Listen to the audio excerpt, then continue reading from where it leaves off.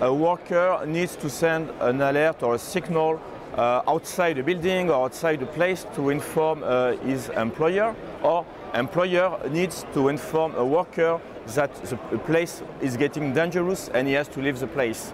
Uh, another use case could be a car accident, uh, could be fatigue.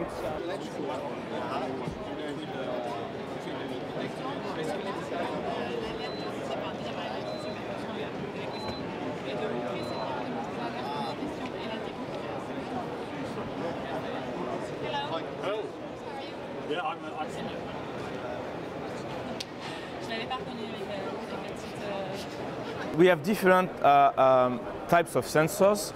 So we have some force sensors, so you can send some signals with your hands, you can send signal with your tool. So you can, it's based actually on Morse code. So it's something simpler, but it's based on Morse code and you can send signal outside. And we have two vibrating devices here and you receive vibrations from outside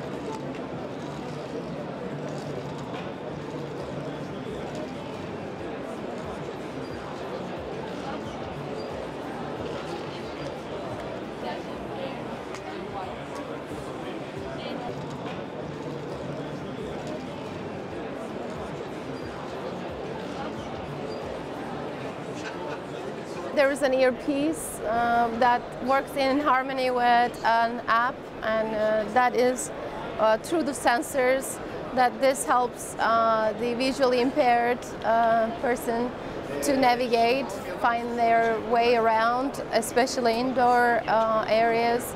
It tells, through the audio piece, it tells about what the what is what is around, which stores are around, where to turn, if there's any block, roadblock, and it just helps the visually impaired individual uh, to to get around and find find their way.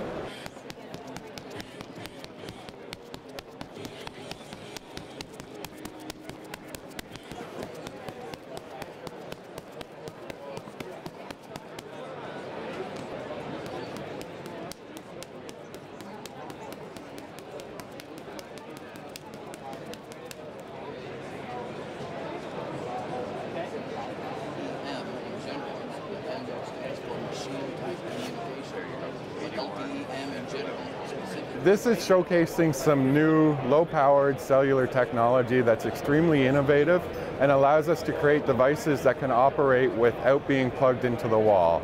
And, and this is an example of showing how that technology can work um, from a perspective of fitness and health.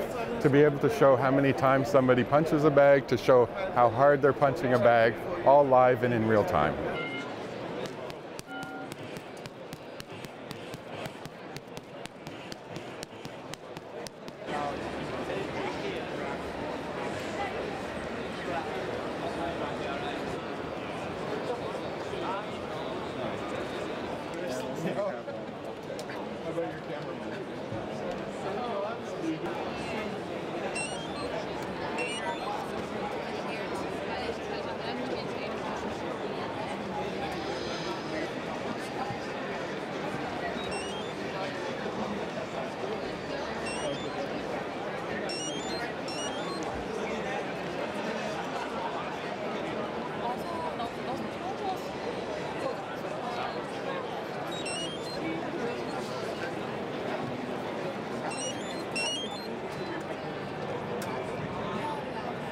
It has a G sensors on it. Basically what G sensor does is it senses uh, the vibration as well as a tilt.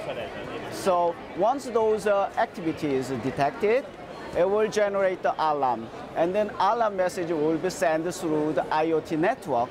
And then you can receive those informations on your handheld devices like a smartphone, mobile phone, and etc.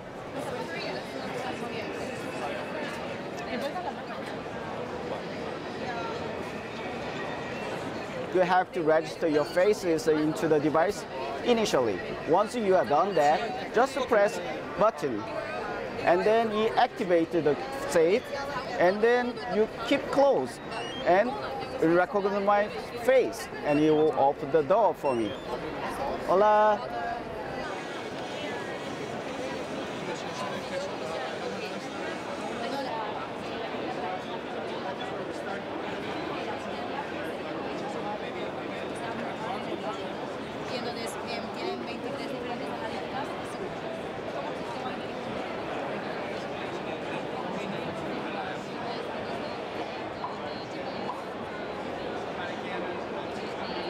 The range of applications, particularly in the industrial IoT we're seeing for efficiency and the growth in productivity, it's all being demonstrated now. So we're seeing being able to make more things, grow more crops, improve people's health. So there's such a diversity of applications.